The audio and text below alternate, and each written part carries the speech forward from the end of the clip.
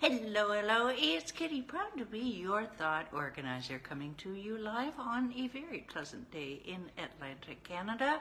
Um, a little on, uh, a little on the chilly side, but you know, it is November, what is it, November 15th? Good heavens, where does the time go? hmm Thanksgiving around the corner and then this Christmas.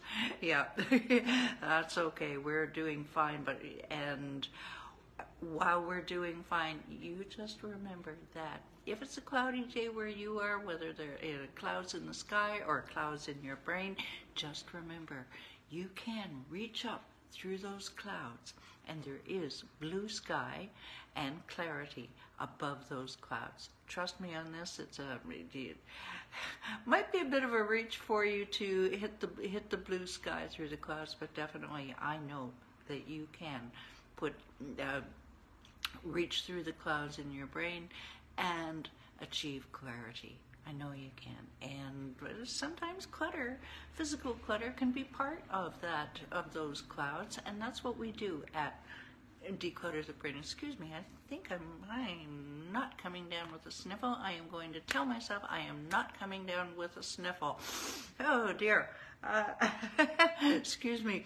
Uh, I was just thinking a few minutes ago about how I was deathly ill with COVID exactly a year ago, so maybe that's what's in my brain. So, a lot of what's in your brain uh, affects, it manifests itself.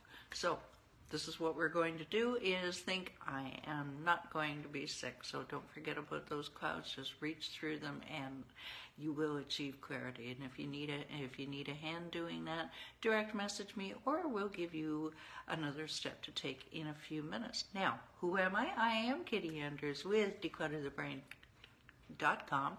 What do I do? I work with entrepreneurs to organize their space and streamline their thoughts so that they can focus on attracting and serving premium clients and maxing out their productivity. Yes.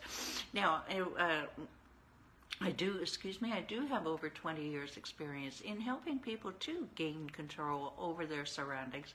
And through that, I have developed my step-by-step one system, which has helped me and my clients go from organized, eh, no, not from organized to organized, from overwhelmed and struggling to organized and thriving. Hmm? Does that sound like something that, uh, oh yeah, yeah? Organized and thriving? Yeah, tell me more, sister. All right. Well, I'll tell you what, you just hold that thought, and we will give you your next one step to take in about 10 minutes from now, not even. So hold tight. Uh, all right, this week we are talking brand new content. This week we are talking about uh, in our de- uh, Declutter Your Tech series, we are talking about your phone. Now, phone, uh, cell phone, aka leash. You know, I was looking for some cartoons to post on Friday, and there's there's a good one. Hello, Michael. Welcome, welcome.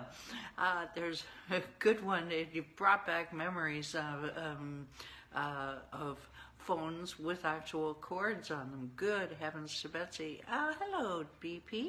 Hi, nice. Uh, welcome, welcome. Um, and yeah, now um, a, a, friend of mine years ago, he said that a friend of his called this, his cell phone a leash.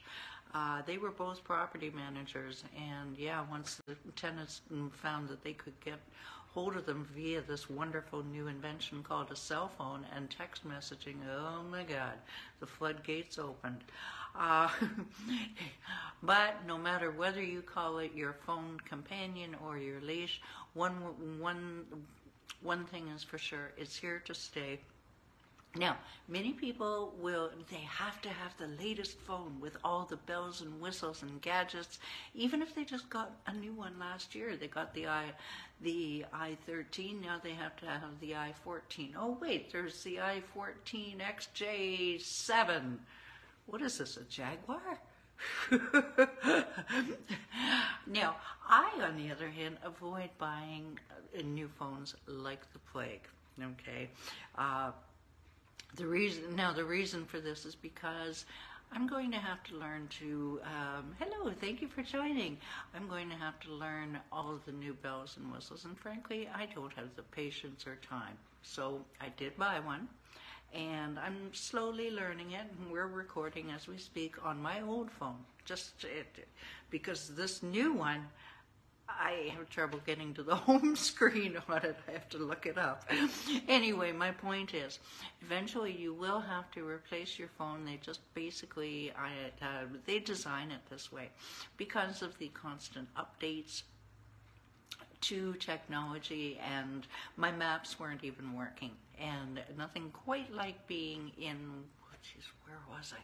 Uh, I think it was Los Angeles uh, a couple months ago, and my maps weren't. Yeah, there we go. Thank you, Michael.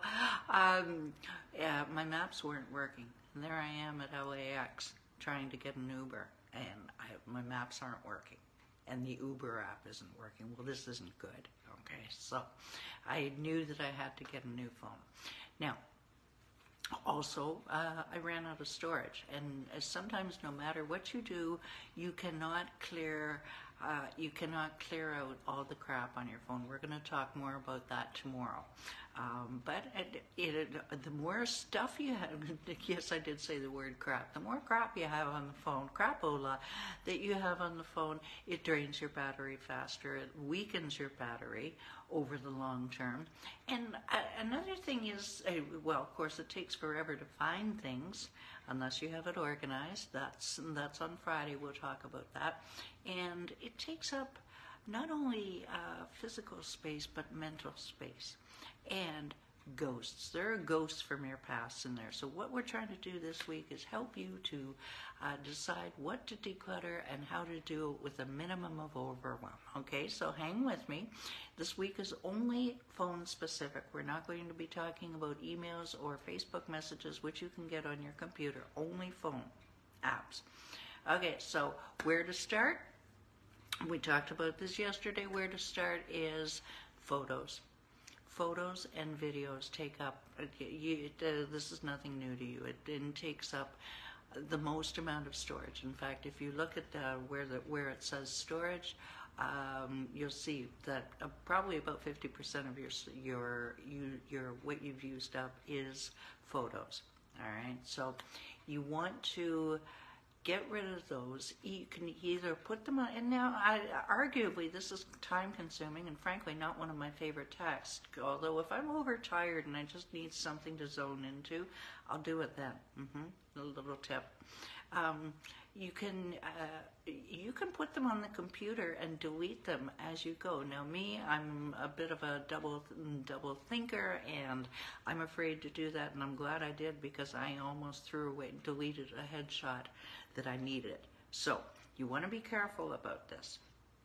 But if you just get rid of the obvious junk first, you, you know, you took a photo of your thumb by mistake.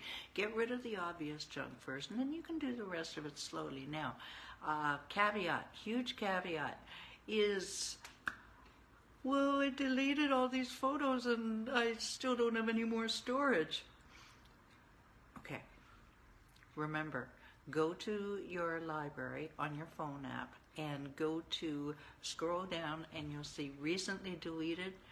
Delete all of that because even though you've deleted your photos, they're still on your phone for another 30 days. So delete the deleted, delete the recently deleted if you follow. All right, so today uh, we are talking about, what are we talking about today? Aha, contacts, people. Now, what, here's where the ghosts thing really comes in.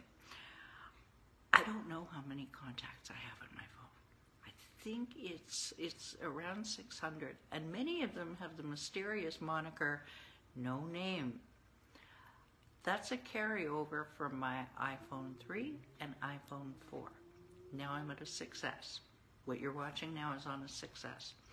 And have success with your 6S. I don't know. Uh, all right, um, and many of them are from when I lived out west, and I know that that person has has has moved. They don't have the same phone number anymore. Well, I'll keep it just so I remember to be in touch with them. kitty stare, please give me a break. Go through them, delete them. And voicemails. Okay, nothing more annoying, especially if you're an entrepreneur, than somebody getting your getting your voicemail and they can't leave a voicemail for you. You've just lost money from a potential client. Okay, so delete those voicemails. Go through, delete.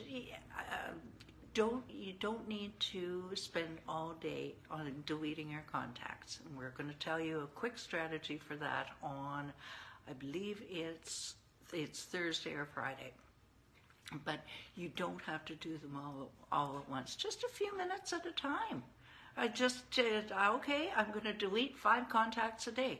Keep it simple. That's what we're all about here at Declutter the Brain is keep it simple. Am I right, Michael? Yeah, yeah, yeah, yeah, yeah. And texts. Oh, they take up a lot of space. And what I learned is the photos that are on in your photo app are not the only photos on your phone. Buddy yesterday sent me a, um, a video from out west. Uh, he's visiting from where I'm from in Banff, and he sent me a two minute video. Jesus, I appreciate it very much, bro, but um, that's taking up space on the phone.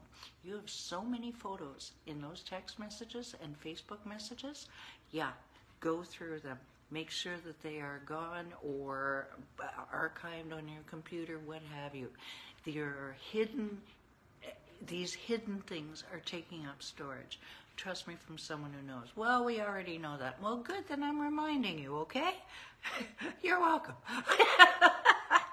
but uh, my mentor, David Fagan, um, uh, he's he is the inspiration for this for for these series on on declutter your tech, and it's uh, it, he's right. It's uh, we have to start addressing decluttering your tech, and your phone is with you all the time. Let's start with that, shall we? You'll feel cleaner. You'll feel less weighted down. All right, so um, if you enjoyed this video, just hit that share button. You don't know who could be feeling overwhelmed by their phone. I know, I know, seems silly, but trust me, there are some days would would you are there not that you can feel overwhelmed by watching the cat walk across the floor. You, you know, just everything rubs you the wrong way. So just uh, hit that share button. You don't know who you're going to help. Um, if you're curious as to uh, hairstyles from a previous life or uh, videos that I've made on a wide variety of topics, just go to YouTube, hit declutter, uh, type in declutter the brain, and we are there, cataloged, organized uh, for your uh, shopping convenience. you don't shop on YouTube, I know. Um, and, and yes, we're even improving that that organizing because what else would you expect from your thought organizer. Uh, all right, so um, do you just want your clutter gone and your mental clarity back? Do you want to feel productive at the end of the day, but super, uh, not, not busy productive, but productive in the right things that you really needed to get done? And with these shorter days, I tell you, you've got less time to do it. Uh, shorter daylight hours, I should say. Okay, when I promised you one step, and one step I shall give you. Down, uh, scroll down in in the notes Download your seven easy steps to conquer your physical and mental clutter. It's intended as a grounding tool for your declutter journey and beyond. And while you're there, go ahead and click that book a call button and book your conquer the chaos button and uh, listen to hear what your clutter could actually be costing you a lot more than you think and gift you with a right now plan for jumpstart results. Jumpstart plan for right now results your choice. But now that you have decided to organize your space and your mindset, click that link below. Change your life today. All right, uh, tomorrow we talk about the age old question what is other anyway? On your phone, we should say. Take care. Bye for now.